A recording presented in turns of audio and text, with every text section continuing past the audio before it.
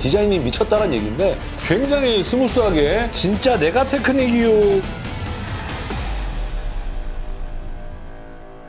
디펜더 이거 괜찮으면 어.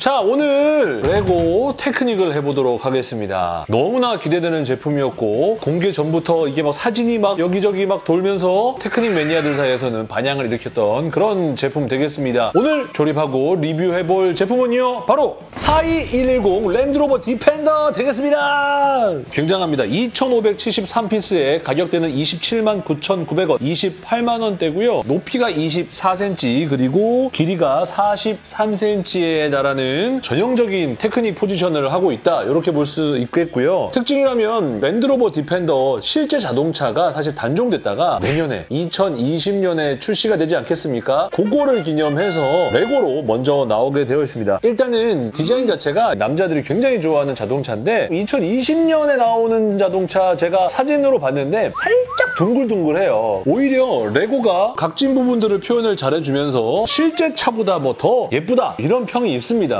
디자인이 미쳤다는 얘기인데 실제로 미친 디자인일지 실물을 보여드려 보도록 하겠습니다. 차를 벌써 거의 5년 가까이 타가거든요. 디펜더 이거 괜찮으면 바꿀 돈이 있어야지. 여기 뒤쪽에 보시면 이런 이런 부분들 탈착도 되고 서스펜션이 이렇게 되고 당연히 steering wheel도 이렇게 움직여진다. 과연 2573 piece를 얼마 정도 시간이 걸릴지도 한번 예상을 해보면서 조립을 해보도록 하겠습니다.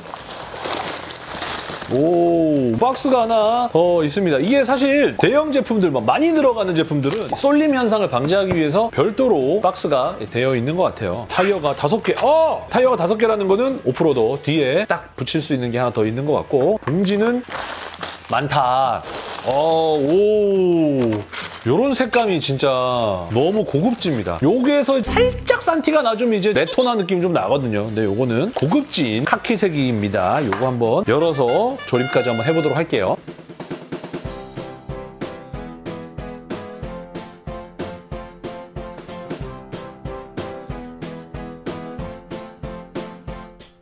자 이제 이렇게 기본 뼈대는 완성됐고요. 중간에 조립해보면서 느낀 점은 굉장히 내부가 복잡하다. 좌우가 달라요. 이제 이 위에 살을 붙이는 작업을 해보도록 하겠습니다.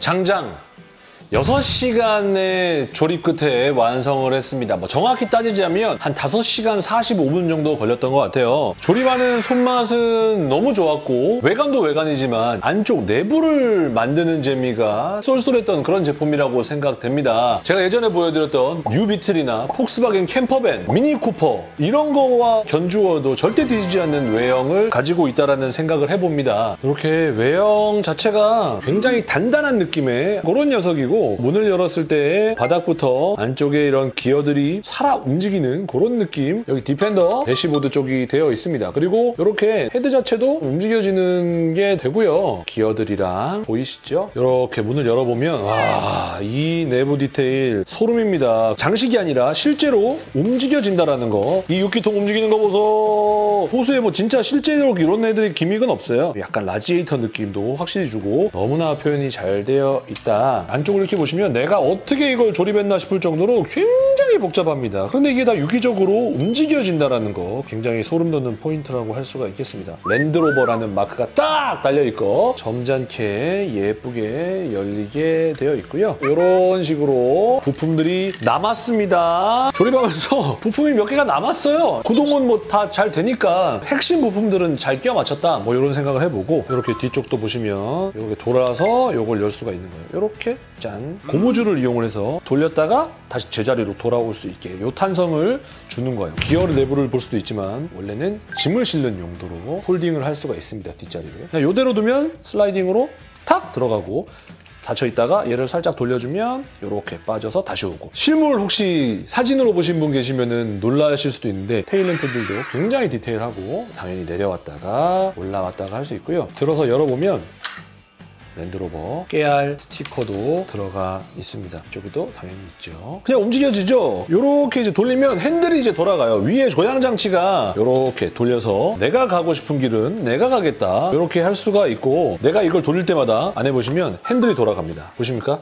이렇게 이렇게 돌아가서 사륜 구동 그 시스템들을 제대로 보여주고 있다. 이런 것들은 침대를 표현한 것 같아요. 맞을까요? 아니면은 아 이거 침대 아니겠다. 진흙탕에 빠져보신 분들은 아실 수 있을 거예요. 다리 말고 차, 차. 진흙탕에 빠졌을 때 이런 거 이제 대고 올라가잖아. 왕 해가지고 네, 혹시나 용도를 아시는 분은 댓글 남겨주시고 테크닉 제품들이 대부분 그래도 쇼바들을 다 채용해줬지만 오프로드답게 쇼바들이 굉장히 이렇게 굉장히 스무스하게 움직여진다라는 점. 뭐 이 정도는 껌이지만 나의 조립 설명서, 내 조립 설명서를 내가 사뿐히 지려밟고 가는 그런 모습. 자, 이 정도에서 자, 이 정도로 해서 간다. 쇼바의 움직임만으로도 여러분들도 아, 이 녀석이 어느 정도의 물건인지 아셨을 거라고 생각이 됩니다. 제가 비교하려고 포르쉐를 하나 가져왔는데 야, 이거 제가 조립해놓고 리뷰는 안 해드렸었는데 이 녀석은요, 42096 포르쉐 911RSR입니다. 올 1월에 출시했던 제품으로 알고 있는데 이 녀석도 인기가 굉장히 많았어요. 주황색 포르쉐, 포르쉐 911 GT3RS 그 녀석이 44만 9천 원 정도로 알고 있어요. 부품 수가 한 2,700개 정도. 오, 그렇게 따지면은 이 녀석이 지금 부품수가 2,573개거든요. 부품수가 거의 100개밖에 차이 안 나는데 한 16만 원 차이가 나기 때문에 가성비는 그 포르쉐에 비해서는 훨씬 더 좋다고 생각이 되고 이 녀석도 부품수가 1,580개입니다. 근데 가격대는 23만 9,900원. 부품수가 딱 1,000개 차이가 나는데 가격대는 오히려 얘가 4만 원밖에 안 비싸면 가성비로는 사실 이 녀석이 더 좋다라고 볼 수는 있겠어요. 이 녀석도